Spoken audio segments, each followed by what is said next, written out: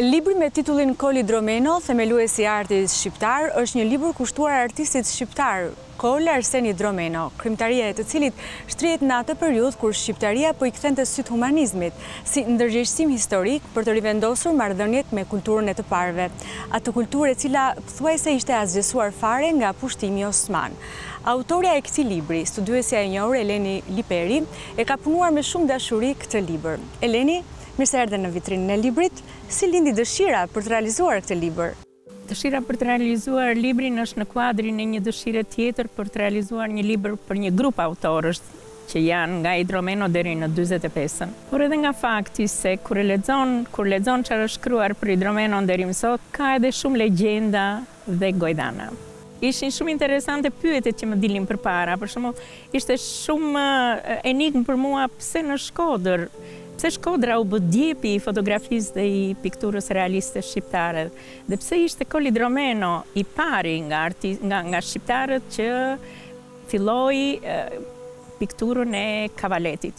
kërkimet në në fushën e historisë, pra duke duke kërkuar për çfarë solli Shkodra me vendodhjen e saj në në skajin perëndimor të Perandorisë Osmane dhe pranë pranë qyteteve që ndodheshin drejt rreth Adriatikut.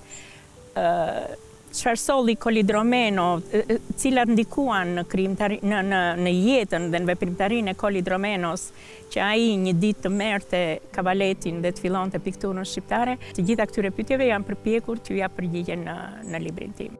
Motra Tone është vepra e famshme e tij, por që shënoi edhe veprën e parë të madhe të artit pamor, apo jo? Vepra e parë madhore e artit pamor shqiptar është e vërtetë. Është një është një pikturë që bart influencat e asaj që e bën Kol Idromenon, pra kohën që ai kaloi në Venecia, periudhën që kaloi në familjen e tij me me me të atin e tij që ishte edhe një arkitekt amator. Të gjitha këto i gjen te Motra Tone, gjen influencat e pikturës të rilindjes veneciane. Është një portret që është ndryshe nga portretet e tjerë pak a shumë që bëri Kol Idromeno, sepse përveç se është një portret që synon t'i ngjajë modelit origjinal, po ka diçka më tepër, ka mendimin, ka pikërisht atë që të bën kurioze kur shikon këtë grua të re që kthen kokën nga një anë ku nuk ka asgjë. Kol Idromeno është përcaktuar edhe si një nga artistët me një individualitet të spikatur, ndryshe nga të tjerët, pavarësisht se ishte i pari në llojin e vet, cilat janë ato tipare që e dallojnë atë? Shiko, Kol Idromeno e nisi aktivitetin e tij atë pikërisht në atë kohë kur nga Perandoria Osmane ishin shkëputur mjaft shtete ballkanike, disa shtete ballkanike. kur Shkodra ishte qendër e vilajetit dhe bashkë me miqtë e tij që ishin shkrimtarë, poetë, intelektualë të Shkodrës, ata filluan atë përpjekje për të sjellë, për të kthyer vëmendjen nga njeriu, nga humanizmi. Jo vetëm kaq, por aktiviteti i tij nuk nuk është i përmbledhur vetëm tek piktura, sepse Kol Idromenon e shohim të punojë si fotograf, E shohim të punojë si skulptor, arkitekt me një sërë godinash të realizuara në qytetin e Shkodrës, si inxhinier, si skenograf, si kostumograf.